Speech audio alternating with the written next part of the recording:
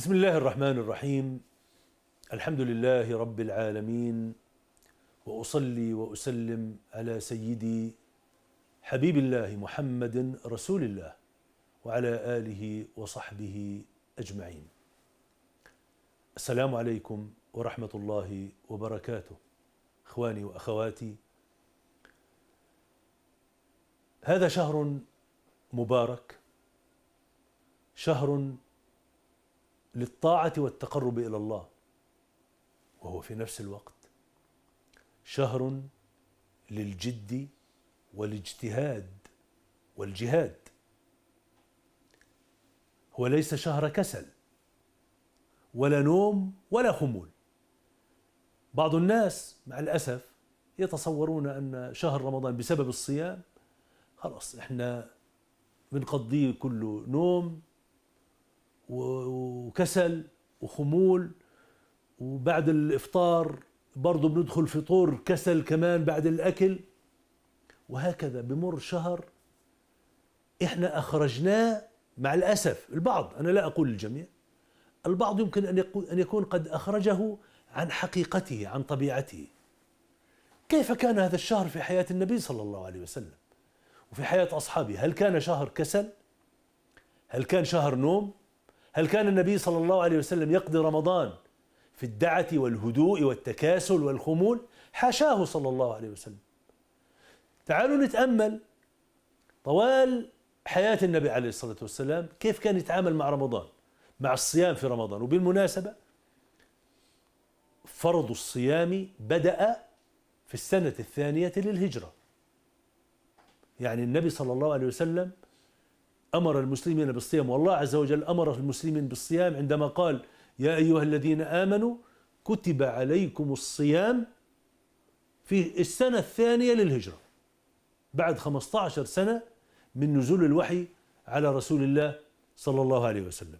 طيب فرض الله الصيام على المسلمين وصاموا لكن هل صيامهم جعلهم كسالى خاملين.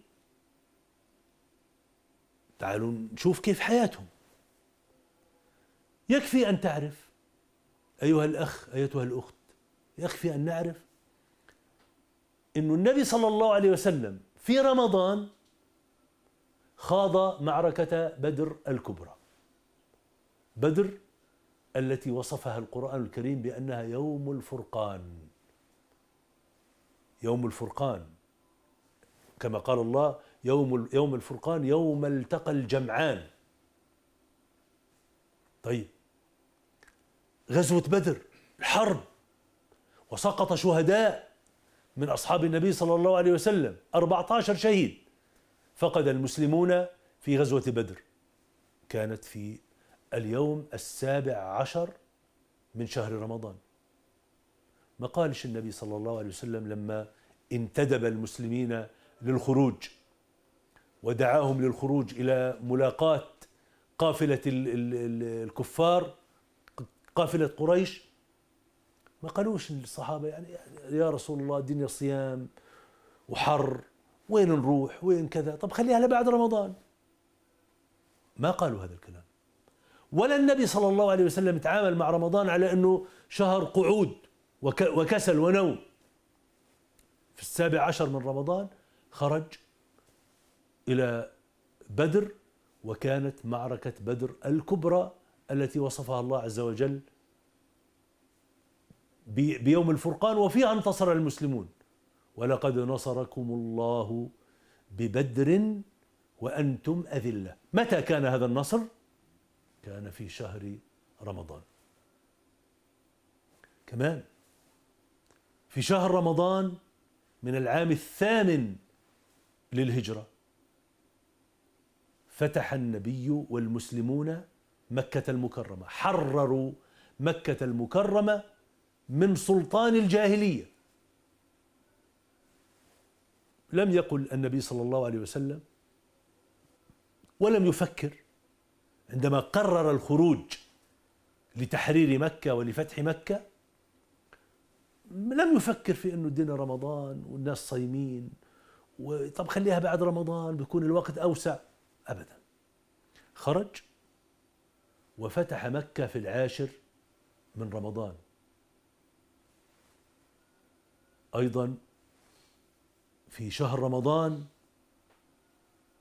أرسل النبي صلى الله عليه وسلم خالد بن الوليد في سرية مع طبعا مش لحاله مع مجموعة من الصحابة.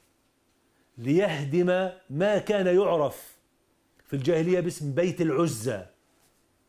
بيت العزة البيت الذي كانت يوجد فيه صنم العزة. أرسله في رمضان لهدم هذا البيت. يعني جهاد فيها سفر فيها مشقة. ما قالش برضو خالد بن الوليد يا رسول الله خليها لبعد رمضان. رمضان ضايل له خمسة أيام ست أيام وبيخلص. بعد رمضان بنروح. أبدا. تلقى الأمر للتنفيذ مباشرة. برضو في رمضان. إذا ما كانش رمضان شهر كسل. كان شهر جد واجتهاد. وكان النبي صلى الله عليه وسلم في شهر رمضان يصلي في رمضان ويقوم في رمضان ما لا يقوم في غيره.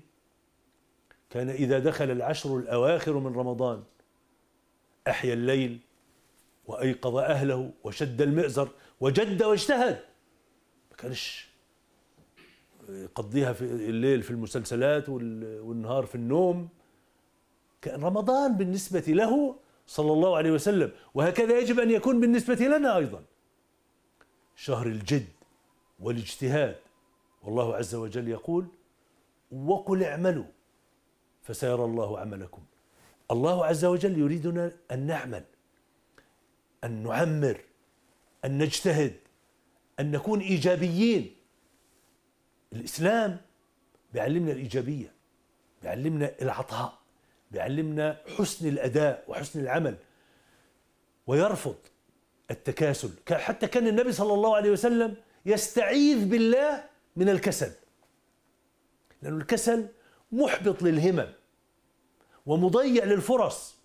كان يقول النبي صلى الله عليه وسلم اللهم إني أعوذ بك من الهم والحزن وأعوذ بك من العجز والكسل وأعوذ بك من الجبن والبخل وأعوذ بك من غلبة الدين وقهر الرجال. إذا الاستعاذة بالله من الكسل من العجز من القعود. كيف يمكن أن نبني الحياة ونؤسس للإسلام إذا كنا كسالى لا قدر الله. رمضان ليس شهر كسل ولكنه شهر عمل وشهر جد وشهر اجتهاد كما كان أيضا في حياة النبي صلى الله عليه وسلم شهر جهاد وفتح وانتصار.